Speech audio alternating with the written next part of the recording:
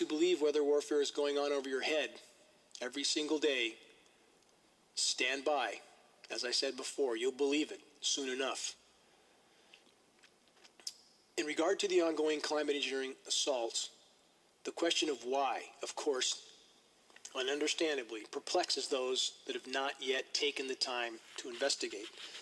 Why is our climate being engineered? Though the answers are many and complex, the condensed version is this for power and control. It's always about power and control. Investigate the U.S. document titled Owning the Weather. The full PDF is available online. Investigate the congressional documents, the presidential documents, the patents, the history of weather warfare and weather modification. It's all there for anybody who chooses to look. If you do so, you'll understand more. Then consider that after 70 years of weather warfare, tearing the climate system apart, and along with many other forms of anthropogenic damage to the biosphere, which many don't want to admit to, all of them impacting the climate system. Much of the current geoengineering assault on our planet is for the purpose of masking the true damage already done to the climate system while at the same time inflicting even more overall damage to the process. Again, this is the pharmaceutical mentality for planet Earth. How many examples do we have to see from the human race? This is, this is the mentality of our modern industrial society to very destructively try to treat symptoms while making the core of the problem far worse overall. This is the society we live in. Rosalind Peterson is an environmental impact analyst and founder of California Skywatch. Today, Rosalind is a leader in the fight to expose the true nature of the chemicals being sprayed in our skies. She has compiled extensive data documenting the ongoing geoengineering and weather modification programs contaminating our skies, water, and food supply. My name is Rosalind Peterson, and I was born and raised in Mendocino County in California.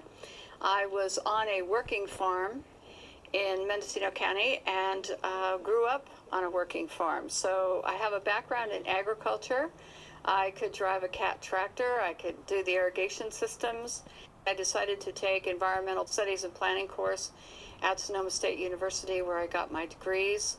After some training, I became an agriculture crop loss adjuster, which meant that if there were any crops that failed in California for any reason, crop loss adjusters were sent by the state of California to go investigate where these crop losses were and why there were crop losses throughout the state.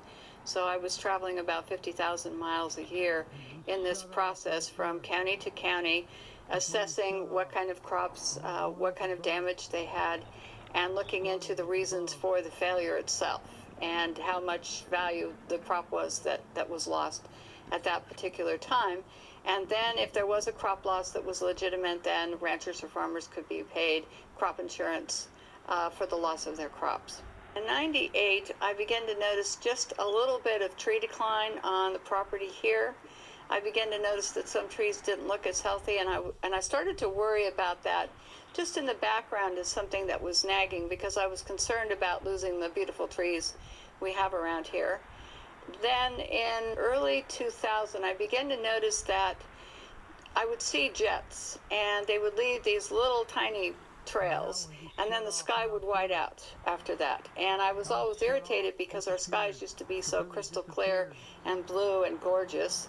And all of a sudden you would see these jets and i kind of thought of them almost as joyriding and when they were or skywriting and when they did this then the sky would haze over. And so i found myself when i was teaching tennis and being outdoors all the time or uh, traveling uh, for work that i was irritated a little bit about the idea that the skies were hazed over a lot so that was the first inkling and then in 2002 um, I was working for the Mendocino County Probation Department.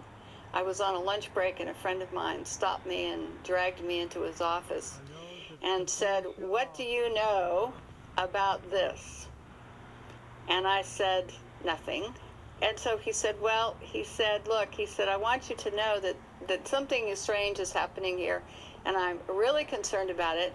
My brother, um, who's in the military, is concerned about this and has called me a couple of times to say he was concerned that there was something here that was going on that was not